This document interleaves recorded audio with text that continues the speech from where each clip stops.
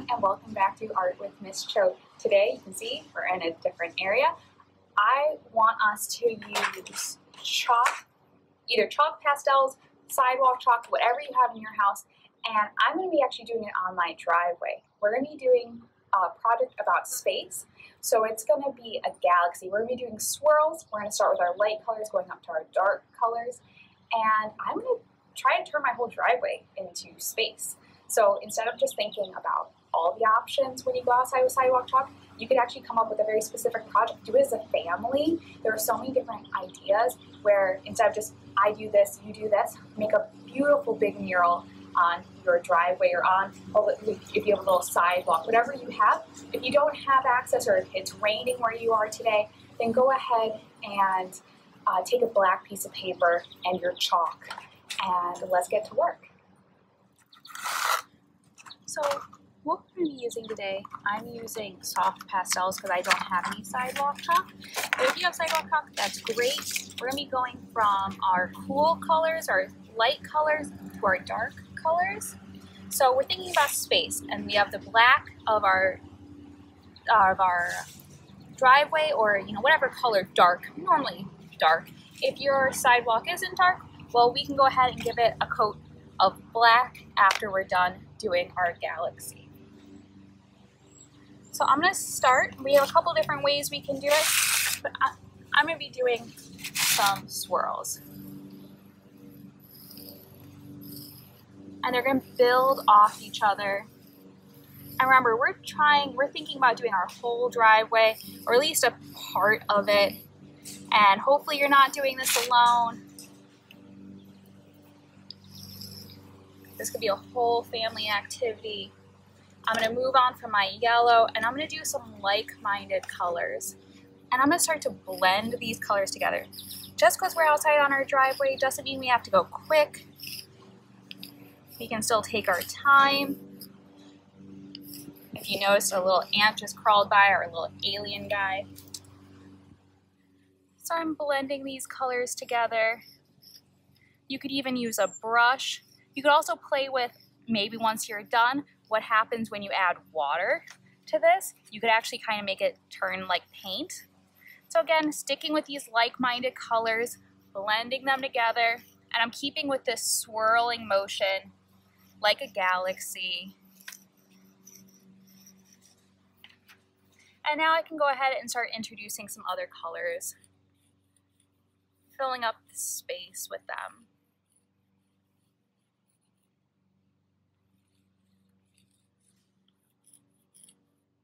Have fun. This is a really nice, relaxing thing to do.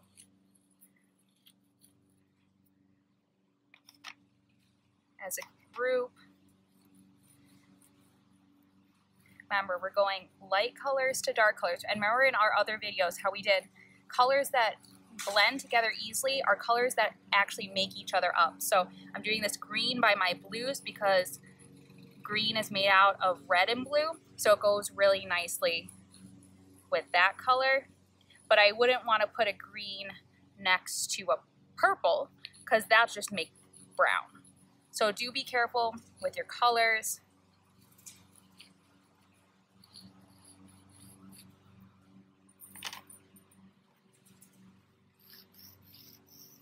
and play with what happens if you add white on top. If you add white on top, the colors will get lighter.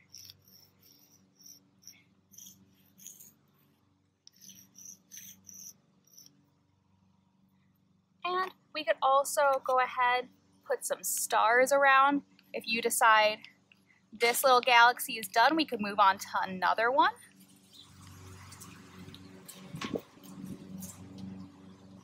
So for my next one, I'm gonna do some blues and some red because I want to make some purple. My set of chalk does not have purple, so I'm gonna have to make my own. And I'm gonna leave this one, maybe it could be a little bit more loose. I'm gonna have them kind of build and I'm going to have it run into my other galaxy over here. So I'm just starting with some big circles. And my idea started with my colors.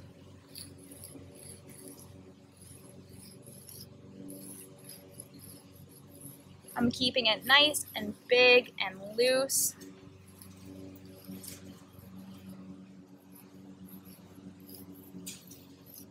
Now I'm going to go ahead start introducing. I'm going to even use the side of my chalk. I'm not going to be afraid about putting down color. I broke my chalk and that's okay. I'm going to put some glue right on top of that.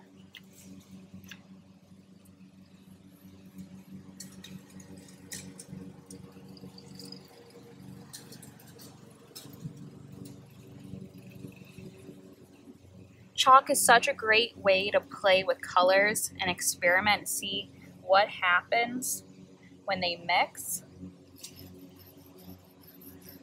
It's so forgiving and the great thing is, when it rains, it just washes away and you can try it again. You could think about your driveway or your sidewalk or your balcony. If you have like a little, like, you know, you live in an apartment, you have a little balcony area, you can do this on your balcony and then take a bucket of water and dump it off and it'll just go away. Instead of using paper, paper, paper, you could take a picture of it and it'll last forever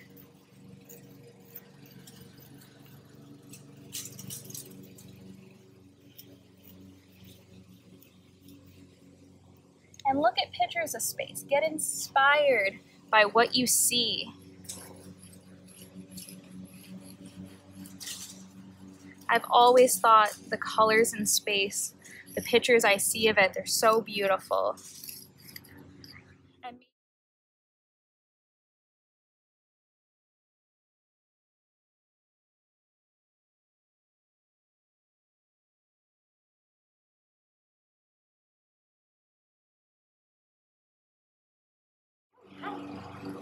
So the great thing about this is my fingers actually turned out more like the galaxy than maybe my driveway did, but I still had a blast doing it. I think my first galaxy was maybe the most realistic, so maybe I would have kept going with those swirls.